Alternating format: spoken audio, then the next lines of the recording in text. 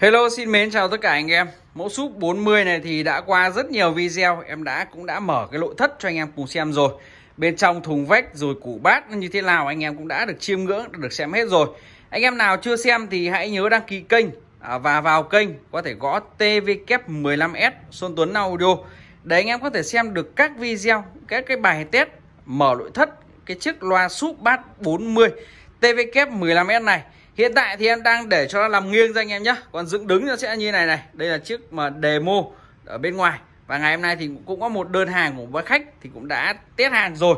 Đã gửi video cho bác khách rồi Và đã bóc thùng đây rồi anh em nhé ấy thì à, đặt à, nằm ra để cho anh em thấy được Và có thể ờ, dễ dàng giới thiệu hơn Về cho anh em có thể biết anh em nhé à, Đầu tiên đó là những lớp sơn sần cát. Anh em có thể hình dung và có thể thấy được qua các cái dòng loa của lưới acoustic bên em đã kinh doanh, đã bán rất nhiều rồi.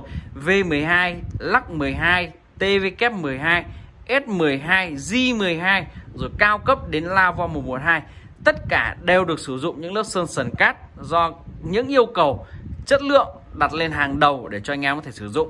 Và đây, sơn sần cát anh em nhé anh em thể nhìn thấy.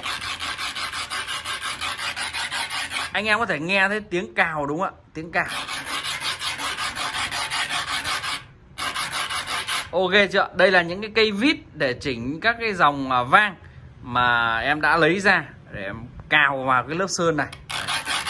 Để cho anh em thấy được là những cái hàng chất lượng, những hàng cao cấp thì những cái lớp sơn, những cái linh kiện, rồi những cái củ bát bên ngoài của nó đã được trau chuốt rất nhiều cho anh em có thể sử dụng rồi. Yên tâm, tin tưởng, dù anh em đi sâu sự kiện cũng rất là thích anh em nhé. Và dùng gia đình cũng thích, rất là thích. Bởi vì sao? Cái thứ nhất, thiết kế nhỏ gọn. Cái thứ hai là chống xước rất tốt và rất phù hợp cho anh em đi kể cả sự kiện mili nho nhỏ. Thì sự kiện mili nho nhỏ thì ờ, anh em hay bị va đập nhiều, hay bị xước sát, hay bị cọ sát rất nhiều, đúng không ạ? Nhưng mà khi có những cái lớp sơn sần cát này nó đã hạn chế nó đã được cho anh em rất nhiều về những cái xước này để đảm bảo cho anh em con súp luôn luôn trong tình trạng mới đẹp không bị sứt mẻ anh em nhé. Và chiếc súp này thì nó có thể đặt đứng này đặt đứng thì anh em cũng có thể bắt được bánh xe. Còn gia đình anh em không cần bắt bánh xe thì nó cũng có những cái chân cao su ở đây rồi đúng không ạ? Chân cao su Đấy, để cách ra dưới mặt đất cho anh em rồi.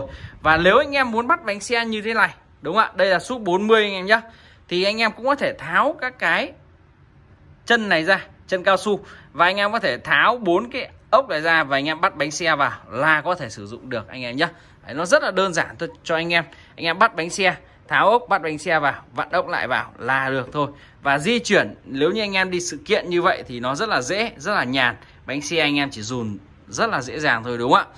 Và sử dụng nếu mà anh em cũng có thể có các dòng loa như column hoặc những dòng loa full để anh em có thể đặt lên, thì cũng có những cái cây trống như thế kia, anh em có thể xoáy vào trực tiếp. Đây đây là những cái, đây, anh em thấy đấy, đây là những cái mà anh em có thể bắt những cái cây trống để anh em có thể đặt lên anh em nhé đặt lên để chống để anh em đặt loa full lên hoặc loa column lên. Tay sách đây để cho anh em có thể dễ dàng di chuyển và vận chuyển những cái chiếc súp này nó được dễ dàng hơn anh em nhé. Dễ dàng hơn. Tay sách dễ dàng luôn cho anh em. Sơn sần cát một trong những lớp sơn mà em rất mê và rất là thích. Ok và sẽ dựng thẳng đứng lên để cho anh em thấy lại. Đây. Đặt đứng lên thì đây trong này nó còn có gen luôn anh em nhé. Gen lên để cho anh em có thể bắt với các cọc loa. Ê căng dạng vân tổ ong. Và nó được làm trong thành thùng bắt vít anh em nhé. Vít sẽ làm gọn trong thành thùng này. Đấy, tạo cái độ thẩm mỹ cái độ thẩm mỹ rất là cao luôn anh em nhé. Ok chưa? Lưới Đấy, lưới đằng sau kia. Ngoài mẫu súp 40 thì có mẫu súp lớn hơn đó là súp 50 anh em nhìn thấy. Thiết kế thì nó sẽ là tương tự nhau nhưng bát 50 nó sẽ to hơn sẽ lớn hơn anh em nhé.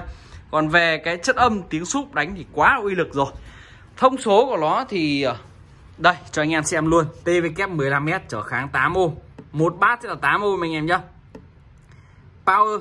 500 đến 1200W thì anh em sử dụng các đẩy như tầm khoảng 800W trong một kênh để đánh ra nó. Ờ, à, giải tần sensitivity giải tần từ 30Hz ok xuống rất sâu luôn. Rất hiếm anh em nhìn thấy 30Hz ở những dòng loa súp bát 40 anh em nhé. Thường sẽ nhìn thấy 32 hoặc là nhìn thấy 35 thôi. Đấy, khó có thể nhìn thấy 30Hz ok chưa? Đấy dòng này thì quá xịn sò cho anh em chơi rồi. Mức giá của con này thì chỉ có 6 triệu 500 nghìn đồng trên một quả thôi và một cặp sẽ là 13 triệu đồng anh em nhé anh em sử dụng cho gia đình, sử dụng với các dàn sự kiện mini kéo kéo anh em sử dụng được.